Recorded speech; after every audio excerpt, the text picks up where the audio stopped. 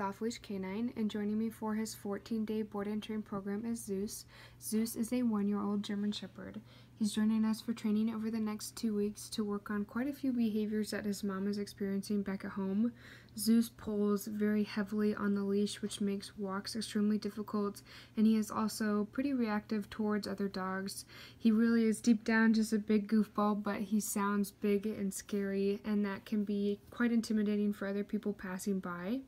He also has a little confidence issues, and we can't wait to boost that up and work on his leash manners. Stay tuned on his progress. I can't wait to show you.